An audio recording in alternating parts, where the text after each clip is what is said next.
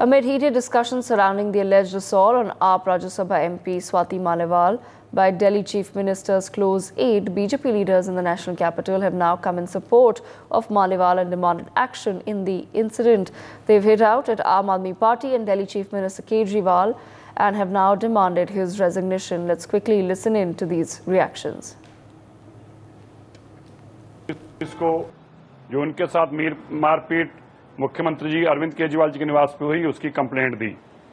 लेकिन हैरानगी की बात है, अरविंद केजरीवाल जी, जो औरतों के सम्मान की बात करते हैं, किस कदर बेशर्मी है उनके चेहरे पर कि अभी भी उस बेबब कुमार को जो उनका पीए है, जिसने स्वाति मालीवाल जी के साथ मारपिटाई की, उनको बुरी तरह से पीटा और सुनीता केजरीवाल जी के कहने पर पीटा, ऐसे बेबब कुमार को अभी भी अरविंद केजरीवाल जी अपने साथ लिए घूम रहे हैं। लखनऊ में भी वो बेबब कुमार उनके साथ थे और पंजाब में भी। आप अब समझ सकते हैं दिल्ली के लोग या अरविंद केजरीवाल सत्ता के लिए किसी हद तक भी गिर सकते हैं। दिल्ली पुलिस तीन घंटे लगाकर स्वाति मालीवाल जी उनको अपनी कंप्लेंट दे रही हैं और जो उसमें अंदर मुख्य अक्यूज है बेबब कुमार, वो अरविंद केजरीवाल जी का चहेता बन के उनके साथ घूम रहा है, क्योंकि बेबब कुमार अरविंद केजरीवाल जी का राजदार है, शराब घोटाले का राजदार है, और मैं यह भी अब मांग करेंगे हम लोग क्योंकि अरविंद केजरीवाल जी ने स्वाति मालीवाल जी को पिटवाया है। ऐसे में उनका ये दूसरा ऑफेंस है और सुप्रीम कोर्ट का संज्ञान लेना चाहिए इसको और सुप्रीम कोर्ट को उनकी जमानत रद्द का जो है, वो चुनाव तक भी रद्द करनी चाहिए। ऐसे अक्यूज का जो बार बार ऐसा क्राइम कर रहा हो, वो बाहर नहीं खुला घूमना चाहिए। सुप्रीम कोर्ट को इसका ज़रूर संज्ञान लेना चाहिए। आखिर बहन स्वाति मालीवाल ने अपनी चुप्पी तोड़ दी है और जिस बात का हम संदेश ज़ाहिर कर रहे थे उनके साथ बुरा बर्ताव किया गया है, वो उन्होंने अपनी शिकायत में पुलिस को बताया है। और पुलिस ने भी विभव कुमार के खिलाफ तीन सौ चौवन, पाँच सौ छः पाँच सौ नौ और तीन सौ तेईस आई की धारा लगाते हुए एफआईआर दर्ज की है। मैं अरविंद केजरीवाल, दिल्ली के मुख्यमंत्री।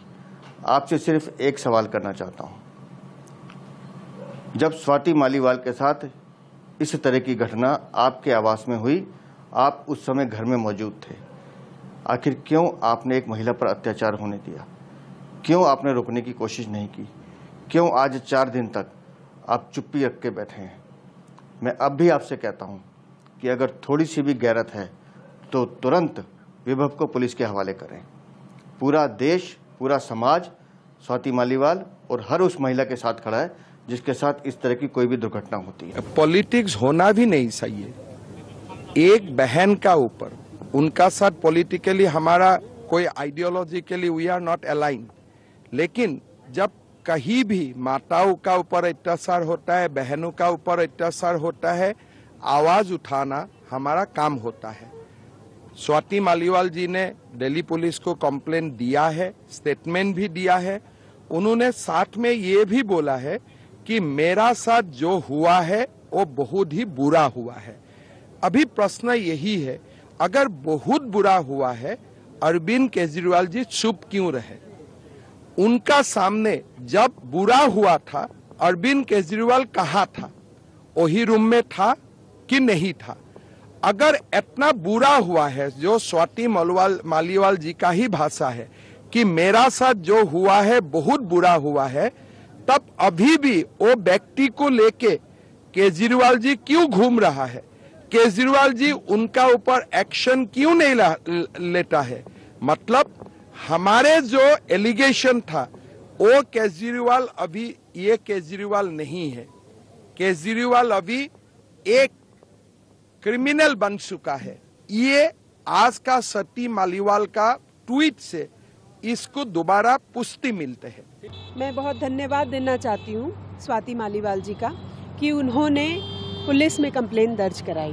दो दिन के बाद उन्होंने अपनी चुप्पी को तोड़ा। एक बहुत ही उन्हें मेहनत लगी होगी, किस प्रकार की वो ट्रॉमा से गुजर रही होंगी, ये सोचने की बात है कि ऐसी मज़बूत महिला, इतनी पढ़ी लिखी महिला, जो कि महिला आयोग की अध्यक्षा रह चुकी हैं, और अभी वो हमारी सांसद भी हैं राज्यसभा की, ये सोचने वाली बात है कि उन पर क्या बीत रही होगी। भारतीय जनता पार्टी महिला प्रदेश अध्यक्षा होने के नाते मैं और मेरी पूरी टीम हम सभी उनके समर्थन में आज उनसे मिलने गए थे। उन्हें हमने पत्र दिया पत्र उन तक पहुँचा। बहुत अच्छा लगा ये देखकर कि उन्होंने पुलिस को अपनी पूरी कहानी बताई जो उन पे बीता है और कंप्लेंट दर्ज किया। इससे एक दिल्ली वालों को और देश को एक कुख्यात अपराधी से निजात मिलेगी। तो आप लोग जारी रखेंगे उनके साथ? जी हम राजनीति से ऊपर उठ के इस वक्त देख रहे हैं। हम ये जानते हैं कि वो हमारे राजनीतिक विरोधी रही हैं। हम अलग अलग विचारधारा के लोग हैं। परंतु यहाँ महिला सम्मान की बात थी, संवैधानिक पद पर बैठी हुई महिला की बात है। और अब हम ये चाहते हैं कि केजरीवाल जी को जो बेल मिली है वो उस, उनकी बेल रद्द हो और वो तुरंत जेल में जाएँ।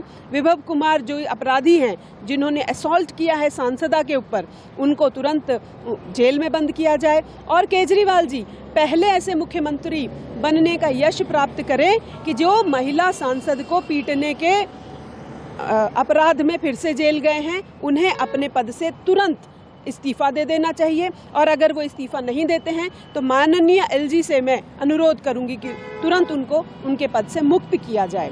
इसके अलावा मैं एक और चीज़ कहना चाहूँगी कि आम आदमी पार्टी में बहुत सी महिलाएँ कार्यकर्ता के रूप में काम कर रही हैं बहुत सी नेता हैं।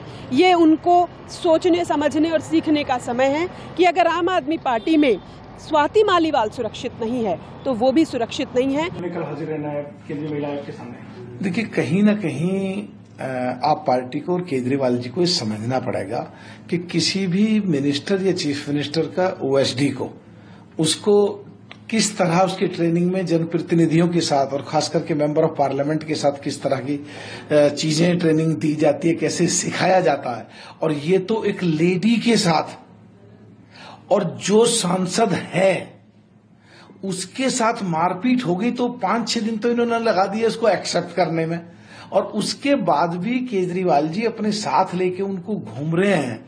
तो समझ नहीं आ रहा देश में क्या मैसेज देना चाहते हैं। हम इसकी जोरदार निंदा करते हैं और मांग करते हैं कि केजरीवाल जी तुरंत उसे अपने पास से हटाएँ और उन्हें खुद पुलिस को सौंपें और कानून सबके लिए एक जैसा, चाहे कोई चीफ मिनिस्टर है, चाहे कोई चीफ मिनिस्टर का ओएसडी है और देश का सांसद होने के बाद भी ऐसी घटना देश में घट रही है। तो फिर जो कह रहे हमको हैं एनडीए को हैं कि संविधान खतरे में प्रजातंत्र लोकतंत्र खतरे में तो प्रजातंत्र लोकतंत्र की धज्जियाँ तो जब उठ रही हैं जब चीफ मिनिस्टर अपने साथ लेकर के एमपी और वो भी लेडीज़ के साथ मारपीट की हो और उसके बाद अपने साथ लेके घूम रहे हो For more such videos, subscribe to the NewsX YouTube channel, hit the bell icon.